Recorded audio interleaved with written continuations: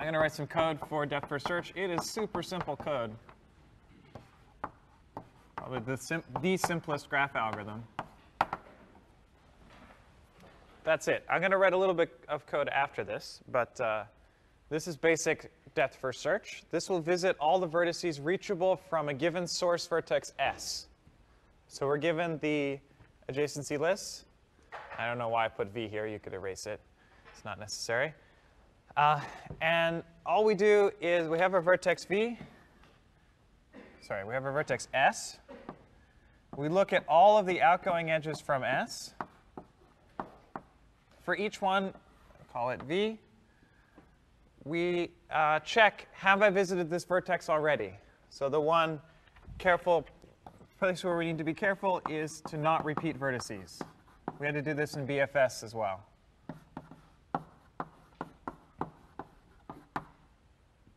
So uh, the way we're going to do that is by setting the parent of a node. We'll see what that actually means later. Uh, but for now, it's just, are you in the parent structure or not? This is initially, uh, we've seen S, so we give it a parent of nothing, but it exists in this dictionary. Uh, if, it's, if the vertex v that we're looking at is not in our dictionary, we haven't seen it yet, uh, we mark it as seen by setting its parent to S, and then we recursively visit it. That's it. Super simple. Just recurse. The sort of the magical part is the preventing yourself from repeating. As you explore the graph, uh, if you reach something you've already seen before, you just skip it again. So you only visit every vertex once, at most once. This will not visit the entire graph. It'll only visit the vertices reachable from S. The next part of the code I'd like to give you is uh, for visiting all the vertices. And in the textbook, this is called DFS, whereas this is just called DFS visit. That's sort of the recursive part. And this is sort of a top-level algorithm. Here we are going to use the set of vertices V.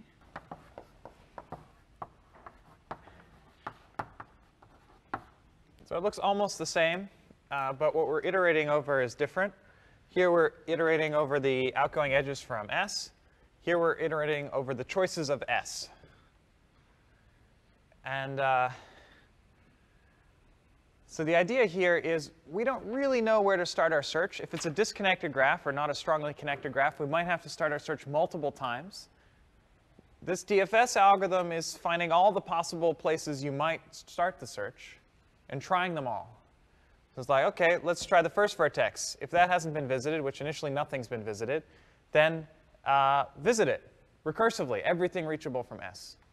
Then you go on to the second vertex. Now you may have already visited it, then you skip it. Third vertex, maybe you visited it already. Third, fourth vertex, keep going until you find some vertex you haven't visited at all, and then you recursively visit everything reachable from it. Okay, and you repeat. This will find all the different clusters, all the different strongly connected components of your graph. Most of the work is being done by this recursion, but then there's this top level just to make sure that all the vertices get visited. Let's do a little example.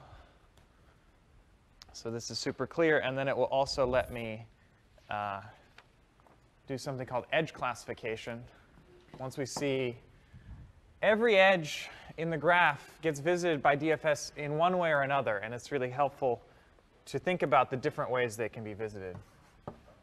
So here's a graph.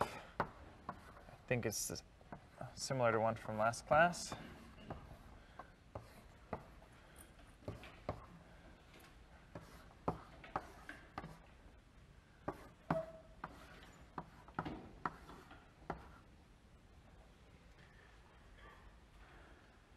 Good. It's not strongly connected, I don't think.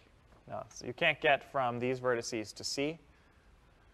You can get from C to everywhere, it looks like, but not strongly connected. And we're going to run DFS, and I think basically in alphabetical order uh, is how we're imagining. These vertices have to be ordered somehow. We don't really care how, but for sake of example, I care. Uh, so we're going to start with A.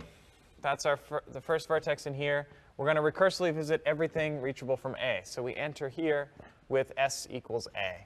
So I'll mark this uh, S1 to be the first value of s at, at this level. Uh, so we consider, I got to check the order here. First edge we look at, there's two outgoing edges. Let's say we look at this one first. Uh, we look at B. B has not been visited yet, has no parent pointer. So this one has a parent pointer of null. Uh, B, we're going to give a parent pointer of A. That's here. Then we recursively visit everything from B. So we look at all the outgoing edges from B. There's only one. So we visit this edge. Great. Uh, from B to E. E has not been visited, so we set its parent pointer to B. Uh, and now we recursively visit E. E has only one outgoing edge, so we look at it over here to D. Uh, D has not been visited, so we set parent pointer to E. And we look at all the outgoing edges from D. D has one outgoing edge, which is to B. B has already been visited. So we skip that one. Nothing to do. That's the, the else case of this if.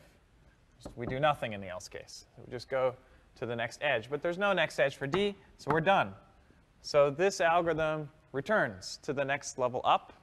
Next level up was E. We were iterating over the outgoing edges from E, but there was only one, so we're done. So E finishes. Then we go back, we backtrack to B, uh, which is always going back along the parent pointer, but it's also just in the recursion, we know where to go back to. We were going over the outgoing edges from B. There was only one. We're done. Uh, so we go back to A. We only looked at one outgoing edge from A. There's another outgoing edge, which is this one. Uh, but we've already visited D, so we skip over that one too. So we're done recursively visiting everything reachable from A. Uh, now we go back to this loop, the outer loop. So we did A. Next we look at B. We say, oh, B's been visited. We don't need to do anything from there. Then we go to C. C hasn't been visited, so we're going to loop from C. And so this is our second choice of S in this recursion, or in this uh, outer loop.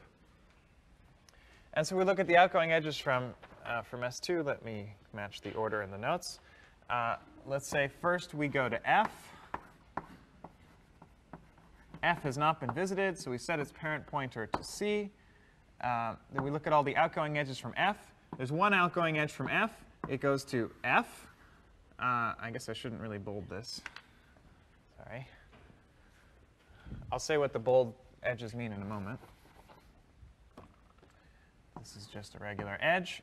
We follow the edge from F to F. We see, oh, F has already been visited. It already has a parent pointer, so there's no point going down there. We're done with F. That's the only outgoing edge. We go back to C. There's one other outgoing edge, but it leads to a vertex we've already visited, namely E. And so we're done with visiting everything reachable from C. We didn't visit everything reachable from C because some of it was already visited from A. Then we go back to the outer loop, say, OK, what about D? D's been visited. What about E? E's been visited. What about F? F's been visited. So we're visiting these vertices again, but should only be twice in total. Uh, and in the end, we visit all the vertices. And in a certain sense, all the edges as well.